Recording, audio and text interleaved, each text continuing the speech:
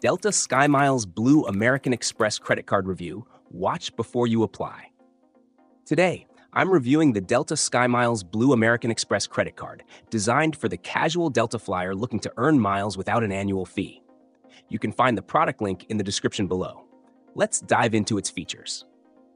First, you earn 2x miles on Delta purchases and at restaurants worldwide, including takeout and delivery, and 1x miles on everything else.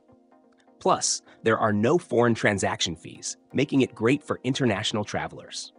The sign up bonus lets you earn 10,000 bonus miles after spending $1,000 in the first six months. Perfect for getting started with Delta SkyMiles.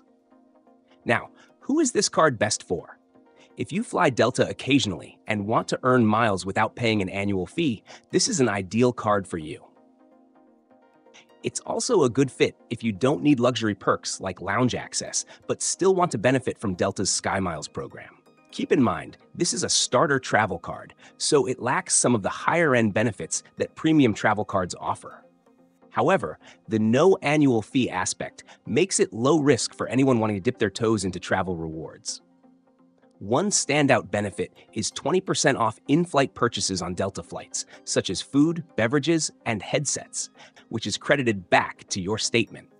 This is a nice perk for anyone who frequently flies with Delta but doesn't want to upgrade to a more premium card. However, if you're looking for travel insurance, lounge access, or free checked bags, you'll need to look at other options in the Delta American Express lineup. Overall, the Delta SkyMiles Blue is a solid choice for the infrequent Delta traveler who values simplicity, no foreign transaction fees, and no annual fee. It's great for starting to earn miles, but if you need more premium travel perks, you may want to consider upgrading later. Thanks for watching, and remember to check the link in the description for more details.